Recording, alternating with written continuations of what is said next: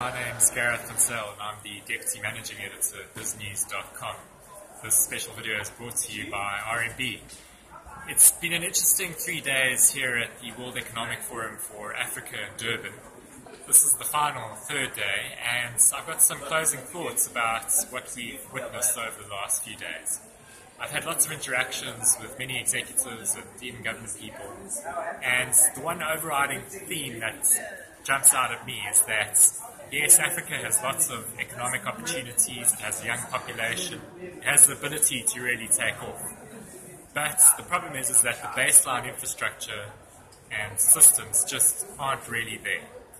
We still need better roads, we still need better educated people, we need a proper skilled workforce that can really take advantage of the likes of fourth industrial revolution type technologies such as drones.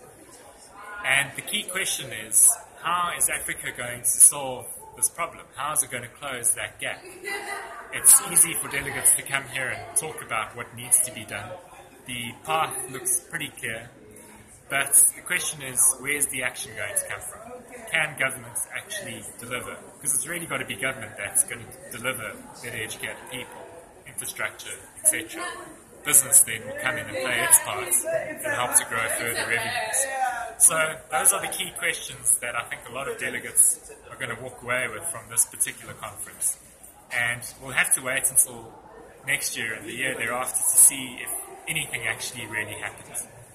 Thank you very much for joining us over the last three days. It's been a pleasure bringing this video to you, and um, cheerio. Cheers.